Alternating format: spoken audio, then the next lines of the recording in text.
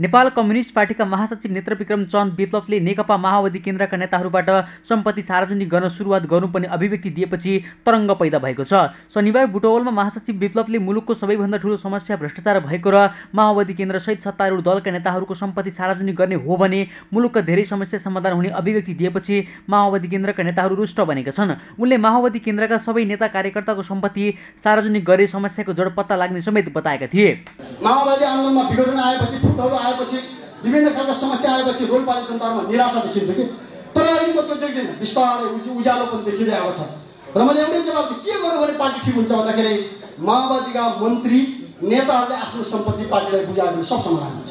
केही पनि सोच गर्नु पर्दैन नि। उनीहरू मर्दैनन् मर्नु हुँदैन। काङ्ग्रेस एमाले माओवादी सबैका मन्त्रीहरू तिनी जनताको बलले मन्त्री भएका हुन्। तिनी बलिदानबाट मन्त्री भएका हुन् नि। ब मन्त्री हुँदाखेरि जनताको बलबाट हुने सम्पत्ति चाहिँ एक्लै कुम्ल्याएर लुकाउनु पाइन्छ त? होइन? यो अर्को हो नि त। त्यस कारण यो जनताले देखेको छ। हामीले भनौँला नभनौँला एकजना मान्छे पनि स्वीकार्दैन आज मसँग पैसा छ भनेर कुनै प्रधानमन्त्रीले स्वीकार्दैन कुनै पनि मन्त्रीले स्वीकार्दैन तर यथार्थ त्यो हो। यथार्थ फरक हो।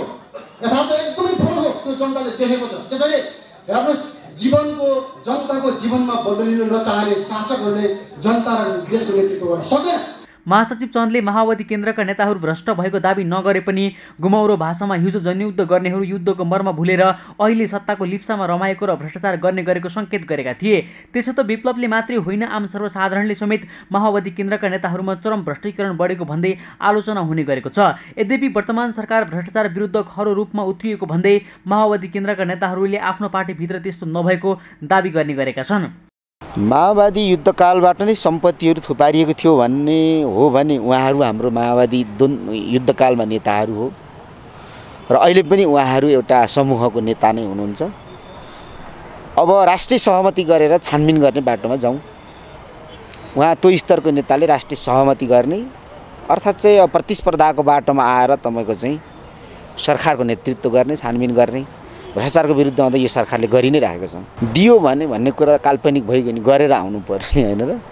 दिन्छ कसले दिन्छ त?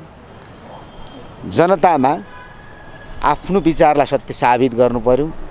त्यसपछि आउने कुरा हो। दियो भने त भन्यो दियो भने त म पनि गर्छु होला नि। सत्ता अक्सर भ्रष्टै हुन्छ। यो भ्रष्ट सत्तालाई तपाईँको चाहिँ सफा गर्नुको निम्ति अहिलेको सरकार लागिराखेको छ। तुलनात्मक रूपमा हिजोको सरकारभन्दा आजको सरकारले केही न केही अँध्यारोमा दियो बालेको छ। त्यसो त विप्लव नेतृत्वको नेपाल कम्युनिस्ट पार्टीलाई पनि चन्दा असुलीको आरोप लाग्ने गरेको छ। नेकपा माओवादी केन्द्र र नेत्रविक्रम चन्दको पार्टी अहिले एउटै समाजवादी मोर्चामा सामेल छ। उनीहरूबीच पार्टी एकताको समेत प्रयास गरिएको छ। तर बेला बेला नेताहरूबाट आउने यस्ता अभिव्यक्तिले पार्टी एकताको प्रक्रियालाई मात्रै रोकेको छैन।